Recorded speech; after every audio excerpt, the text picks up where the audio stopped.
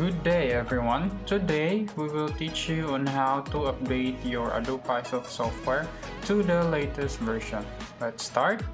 So first, you need to go to your admin login and then check for your software version. As you can see, it is 5.00. You go to the system and under device, scroll down to the lower end and you should see a check for updates option. Once you click it, you will be provided with the latest stable version. In this case, it would be 5.1.1. So to update it, you just need to click install. It should start downloading right away. And after the file is successfully downloaded, you need to reboot your system so that it can be installed successfully.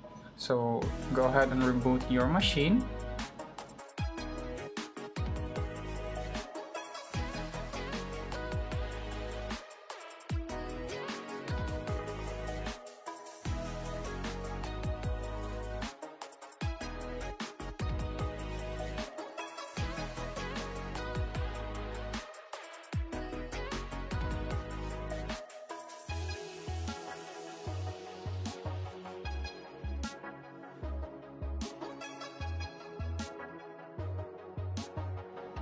And after successfully rebooting, you will now see that your software version is 5.1.1 and it is already updated to the latest stable version.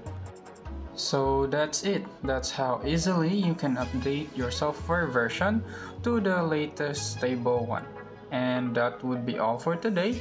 Thank you and have a great day. See you next time.